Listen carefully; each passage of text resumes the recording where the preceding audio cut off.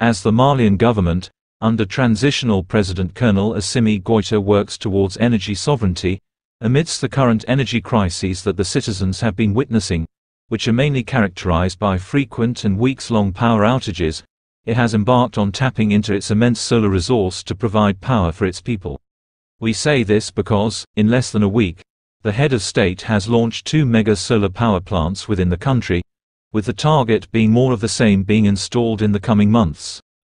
On the Friday of May 24, the head of state launched the Sanankoroba solar power plant, courtesy of a partnership between Mali and a Russian company called Novawind, and whose energy capacity will be 200 megawatts once operational.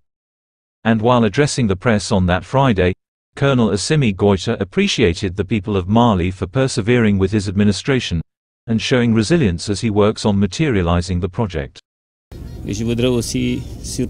And I would also like to salute the resilience and the spirit of the Malian people, who have made enormous sacrifices, and I would like to reassure them that all the sacrifices made constitute the basis of our determination and our commitment to the Malian people.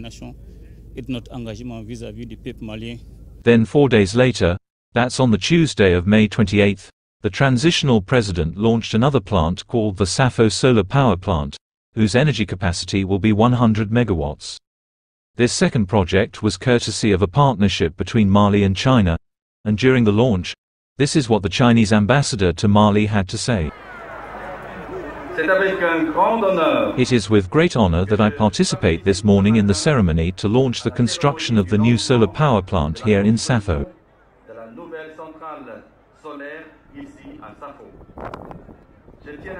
I have just executed the initiative of this solar energy project, which will serve the people well and fight against the energy crisis in Mali. I sincerely hope that this project will be carried out successfully.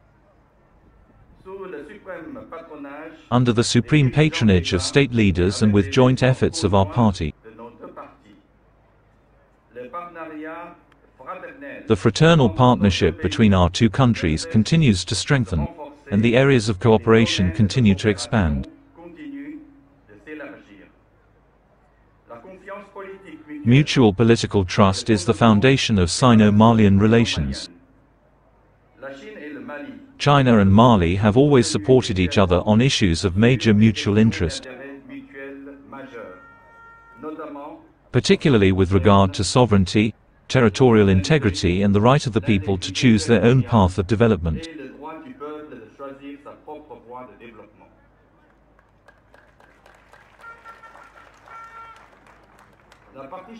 The Chinese motherland highly appreciates the Malian government's constant support for China's efforts to safeguard China's sovereignty and national unity, reiterating its adherence to the One China principle.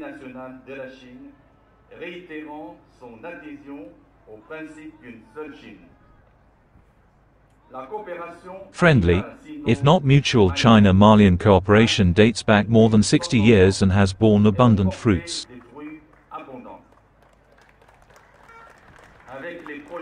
With projects such as the third bridge in Bamako,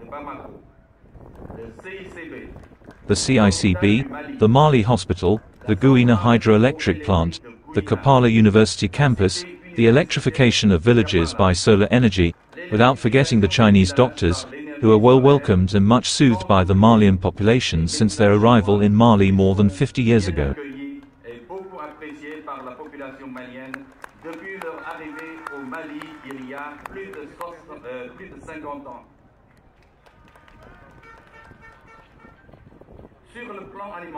In terms of food, the Agricultural Technical Assistance Project in Mali, executed by Chinese agricultural experts was a great success.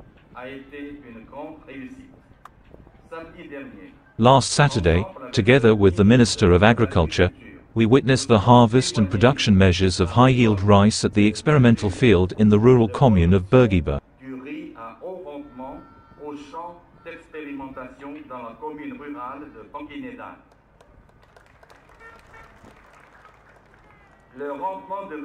The rice yield reaches 9 tons per hectare. This result is very satisfying and very encouraging. I am convinced that with the popularization of this African technology, It will contribute to effectively combating the food crisis in Mali.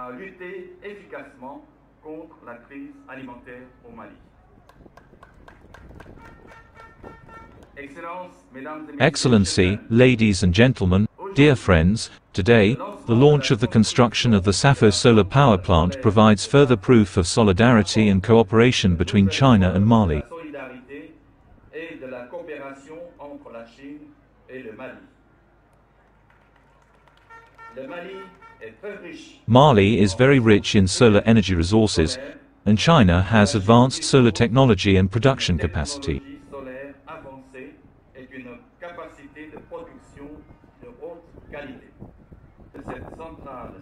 This solar power plant will be a crucial step in meeting Mali's energy challenges. énergétique du Mali.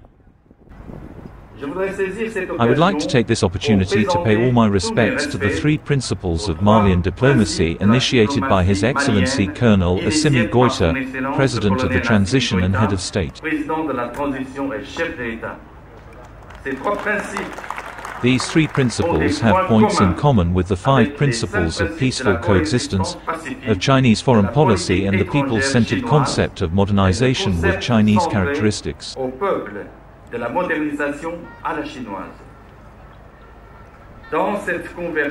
In this convergence and policy in our two countries, the substantive cooperation could be further strengthened. On the path of independent development and improvement of people's well-being, the Chinese people always stand alongside the Malian people. peuple chinois sera toujours aux côtés du peuple malien.